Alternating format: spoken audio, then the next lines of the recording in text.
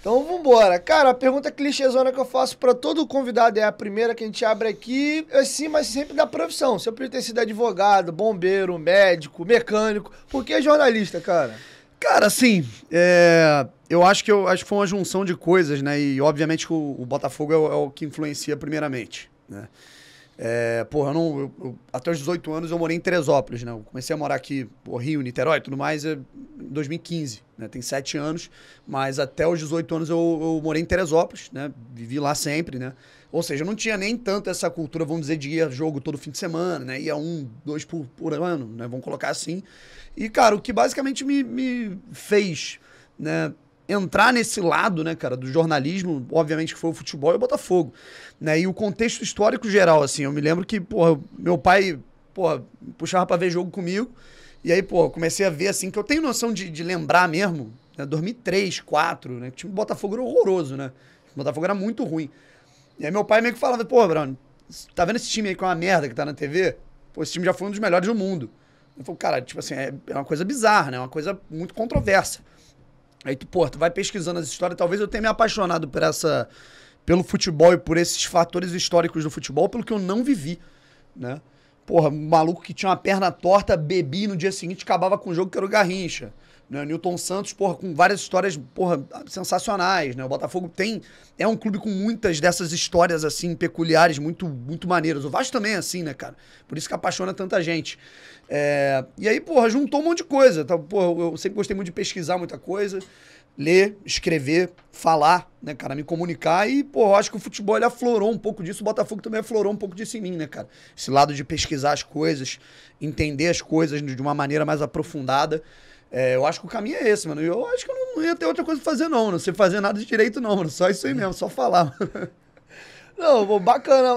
Essa foi uma, resposta um pouco diferente, que o grosso da galera que trabalha com futebol e jornalismo, é, 90% da galera que vem aqui sempre falando, eu queria ser jogador, não consegui. O mais próximo disso que eu consegui até era no jornalismo. Tu teve vontade de ser jogador também? Porra, lógico, cara. Mas assim, era uma, é uma parada que é, eu nunca levei pra frente, né? Pô, jogo, né? Nesse momento não, que eu tô machucado. Tô, inclusive, pô, o único exercício que eu gosto é jogar pelada. Eu não gosto, não, não tenho vontade de correr, não, não gosto, pô, não, eu gosto de, só de jogar futebol. Eu tô com a lesão no pubis, mano. Ah, eu tô, atleta, tô ferrado, eu tô, eu, tô, eu tô fudido, tô no, no, no, gelo, assim, até agosto, setembro. Caraca. Eu vou ficar ruim.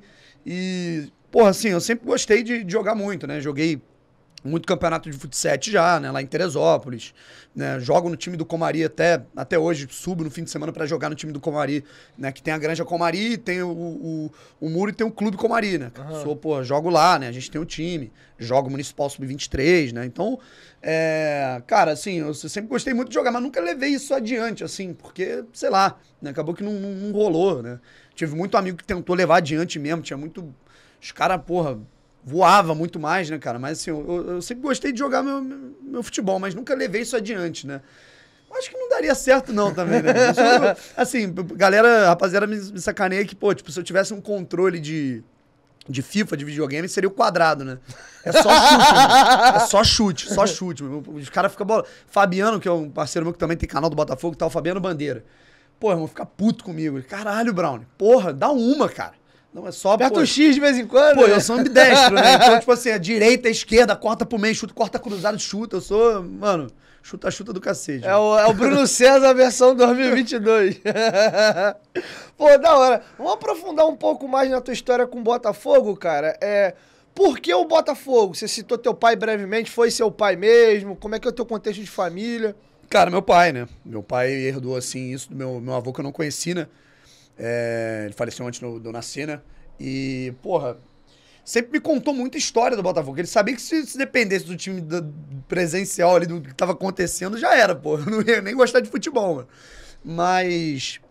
É, eu acho que juntou muito, né, cara? Como eu já tinha dito, essa, essa questão do, do que a gente vivenciava no futebol naquele momento com o que já tinha passado, né? Porra, me lembro que, sei lá, cara, a febre na, na minha época ali de, de moleque, assim, era Ronaldinho Gaúcho, total 90, né? Porra, Ronaldo Fenômeno. E, porra, assim, eu era vidradão no futebol mais antigo também, cara. Tipo assim, eu me amarrava em pesquisar de Pelé, Garrincha, Newton Santos.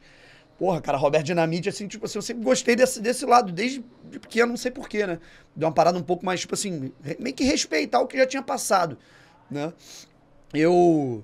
Sei lá, cara, porra, com 10 anos assim, pô, já recebi um livro de presente assim, da família, o pessoal via que eu, que eu tinha, gostado mesmo de, de, de, futebol de Botafogo, já tinha lido livro, né, porra. Lembro teve uma vez que meu pai, primeira vez que meu pai me levou na sede é, em General Severiano para conhecer, né, que eu nunca tinha ido. Né, e aí, pô, vi lá o time, né, tinha um, um, um time, tem uma imagem grandona do time do século do Botafogo lá. Aí eu falei, pô, pai, tem um quarentinho aí na, na no time, né? Aí, porra, o guia falou: caralho, esse moleque tem 8, 9 anos, tu sabe quem é quarentinha, mano? Tipo assim, não faz sentido. E eu sempre gostei. Sempre gostei dessa, dessa parte assim que é, talvez nem todos os holofotes estivessem voltados. Entendeu? Eu acho que é importante tu também ter essa visão do que, do que talvez já tenha passado. Sacou? Eu, eu acho que isso me, me cativou a gostar muito do Botafogo. O Botafogo tem muito dessa, dessa coisa mística do que já aconteceu. Então, acho que acho que vai muito por aí. Pô, e o legal que olhando a tua carreira hoje, você faz isso, mano. Porque assim, você é um cara que é botafoguense, mas você conta muita história dos clubes, você tem muito respeito de outros torcedores, porque todo mundo sabe que tu é Botafogo, mas você produz conteúdo fora do Botafogo. E eu acho muito maneiro tu contando a história, às vezes um vídeo contando a história do Vasco, contando a história de uma parada. Eu, eu vejo os do Vasco chega muito para mim, mas eu sei que você faz de outros clubes também. Eu vi, inclusive, recentemente, você falando do, do dos shows que a torcida do Vasco tem feito, do, do sentimento que o Vasco tem com São Januário, e com profundidade. É, é legal ver que você tem esse lado historiador, essa coisa de buscar, de gostar de história. Tipo assim, obviamente que, porra, zoeira é. Cara, é o que, que move a gente, né, mano? Porra, um gastar o time do outro. Né? Porra, isso, isso, isso é a coisa mais natural do mundo. Mas eu acho que a zoeira não pode passar, tipo assim, de respeito. Entendeu? É, eu acho que tu pode, pode sacanear um rival, porra, cair na, na brincadeira, mas tu tem que respeitar o que, o que é um fato. Né? Eu me lembro que o primeiro vídeo até que né? Porque eu fazia só conteúdo do Botafogo no YouTube, no, no, no Instagram e tudo mais. E aí depois eu, tipo assim, eu tinha essa vontade, né? Pô, porque, tipo assim, eu gosto, me amarro em produzir conteúdo do Botafogo. Eu vou sair daqui, vou fazer uma live no meu canal que é específico sobre o Botafogo, que é o canal Brown e Fogo. Pouca, muita gente não sabe, né? Porque como eu apareço bastante no TikTok, tem muita gente que, tipo assim, não, não sabe que eu criei esse vínculo com o Botafogo antes de, de cobertura, né? E eu falei, pô, cara, eu tenho vontade também de, de ter um espaço para falar de tudo. Né? E, e, e, cara, esse espaço, ele, ele apareceu justamente com o TikTok. Porque, por exemplo, eu ia no Twitter, aí ia falar, pô, tal jogador tá jogando bem. Aí, pô, a resenha era toda puxando pro Botafogo. Eu falo, cara, tipo assim, é maneiro falar do Botafogo, óbvio, mas eu também gostaria de falar de outras coisas. E o TikTok me deu essa abertura. O primeiro vídeo até que viralizou, no que eu fiz até sobre o Vasco, né? No momento, eu tinha uns 100 mil seguidores no, no, no, no TikTok. Eu fui em São Januário para cobrir o Botafogo e Vasco. Foi ano passado, Campeonato Carioca, o jogo foi 1 a 1 uhum. O Vasco empatou no fim do jogo com um gol contra. Me, me lembro muito bem. Não, aliás, o Botafogo fez um gol contra e o Vasco empatou né, aos 40 minutos. Né? E.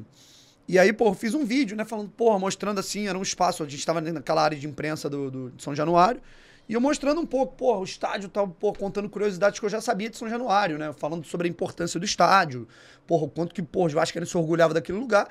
E, porra, galera, caralho, o maluco é Botafogo, pô, deu uma moral, achei muito maneiro e tal. E eu acho que a minha essência é um pouco essa, tá ligado? Tipo assim, eu não preciso esconder que eu sou Botafogo. Né? Quando eu tô na arquibancada, eu vou xingar todo mundo, vou, vou, vou torcer pelo meu time, vou torcer contra tudo que tá né, contrário ao meu time. Só que, porra, é... eu, obviamente, quando eu tiver que analisar com decência as paradas e com coerência, eu vou analisar. Né? Eu, eu, eu não gosto nem do cara que, tipo assim, porra, é mó troglodita e, e sai desrespeitando todo tipo de clube.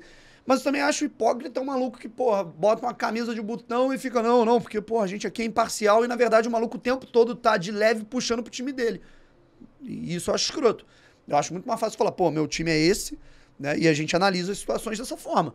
Né? Eu, eu acho que a gente tem que quebrar um pouco esse, esse paradigma, tá ligado? Eu acho que, pô, dá pra tu ser maluco pelo teu time, dá pra tu ser um alucinado, porra, agora eu vou pra Cuiabá, não sei nem que dinheiro que eu vou pra Cuiabá, mas vou pra lá.